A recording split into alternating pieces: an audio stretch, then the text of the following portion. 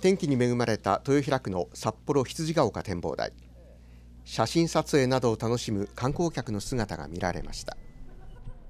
あ今日から自粛になったんですか？あそれは知らなかったですね。解除になってすぐまた自粛ってなんか旅行しづらいですねすごく、うん、予定が組めないですね。札幌中心部の地下歩行空間もいつもの休日とさほど変わらず多くの人出がありました。道と市は道内の感染者の6割以上を占める札幌市での感染拡大を徹底して抑えたい考えで自粛期間は来月16日までの3週間となっています。来週持っていくものをちょっと買いに行くので